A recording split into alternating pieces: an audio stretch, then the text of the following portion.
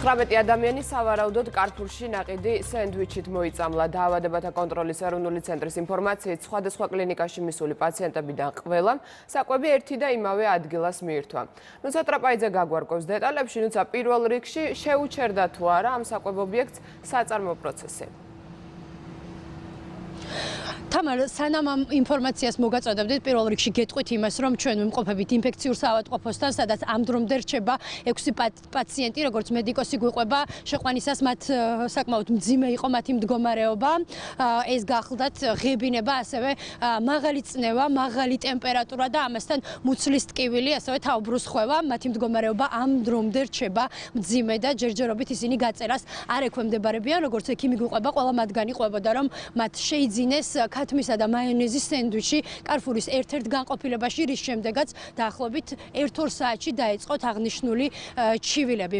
ჩვენ ვესაუბრეთ დაავადებათა კონტროლის ეროვნული ცენტრის ცენტრის წარმომადგენელს, რომელიც ჩვენთან საუბრისას ყვება, რომ მხოლოდ 6 პაციენტზე არ არის საუბარი, სულ ესეთი ჩივილებით სხვადასხვა კლინიკებს მიმართა 19 ადამიანმა, თუმცა ყოველს დაწვენა აუცილებელი არ გახდა. დიახ, 19 არის ის რიცხვი, რომლებიც სავარაუდოდ კარფურში შეძენილი გამოცემული პროდუქტით მოიწამლენ. 23-ში შემოვიდა 4 პაციენტი, გუშინ 24-ში მე დავაწვინე ორი პაციენტი, მდგომარეობა იყო საშუალოზე მძიმე, შივილები ჰქონდათ გულისრევა, ღებინება, მაღალი ტემპერატურა, პრინციპში თითქმის ყველას ჰქონდა 38-ზე მაღალი ტემპერატურა, განმეორებითი ხასიათის იყო ეს ღებინება და ნაწალთა გახშირებული მოქმედება. სავარაუდოდ არის ეს კვებითი ინტოქსიკაცია, უკავშირებენ ქათმით და მაიონეზით დამზადებულ სენდვიჩს, როგორც წესი სტანდარტულად ეცნობება სურსათმრუნებლობას. თამათ თავიანთი კომპეტენციის ფარგლებში გაატარონ შესაბამისი ღონისძიებები, რათა დაავადების გავრცელება არ მოხდეს. ამ შემთხვევაში ჩატარდა ეს სტანდარტული პროცედურა, როდესაც ცნობილი გახდა, რომ ადამიანება საკვებად გამოიყენეს ერთ-ერთ საზოგადოებრივი კვების ობიექტში წარმოებული პროდუქტი. ვიცი, რამდენიც მიმართა და უკვე მოკვლეული ყოს, ვიცით, რომ 19 ადამიანი იყო ამ სიმპტომებით ავად და უკავშირდებოდა ერთ კვების ობიექტს. საწარმო, რომელსაც 19 19-მდე ადამიანი უჩივის მდებარეობს კარფურში, რომელსაც უკვე შეუჩერდა საწარმო ქმედების უფლება, სურსათის უვნებლობის ეროვნული სააგენტოს წარმომადგენლები იქ გუშინ იმყოფებოდნენ და როგორც აცხადებენ, მათ აღმოაჩინეს სტანდარტებთან კრიტიკული შეუსაბამოები.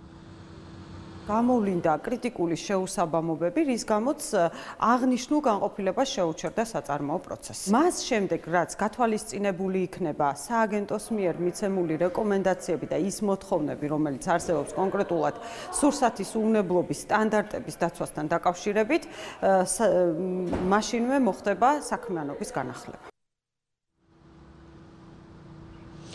ჩვენ დღეს შევეცადეთ რომ გავსაუბრებოდით კარფურის წარმომადგენლებს, თუმცა მათ ტელევიზიებთან საუბარი არ ისურვეს, თუმცა ჩვენ ჩავწერეთ სატელეფონო სატელეფონო ინტერვიუ, სადაც კარფურის საზოგადოებასთან ურთიერთობის სამსახურის ხელმძღვანელი ამბობს, რომ კომენტარს ვერ აკეთებს, რადგან ჯერჯერობით მიმდინარეობს შესწავლა, ასევე ცნობილია, რომ სავარაუდოდ გაფუჭებული იყო მაცივარი, სადაც ინახებოდა აღნიშნული სენდვიჩები. სენდვიჩები ახლა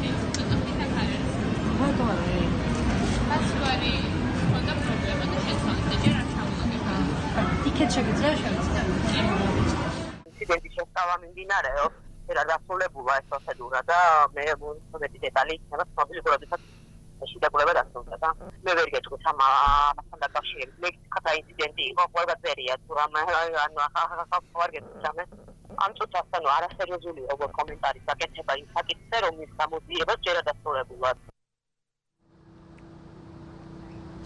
ჯანმრთელობის მძიმე მდგომარეობის გამო პაციენტები დღეს სატელევიზიო ინტერვიუზე არ დაგვთანხმდნენ, თუმცა პირად საუბრებში მათ განაცხადეს, რომ როგორც კი გაწერენ საავადმყოფოსთან, საავადმყოფოებიდან ისინი აპირებენ, რომ მიმართონ საგამოძიებო სტრუქტურებს და უჩივლონ აღნიშნულ საწარმოს.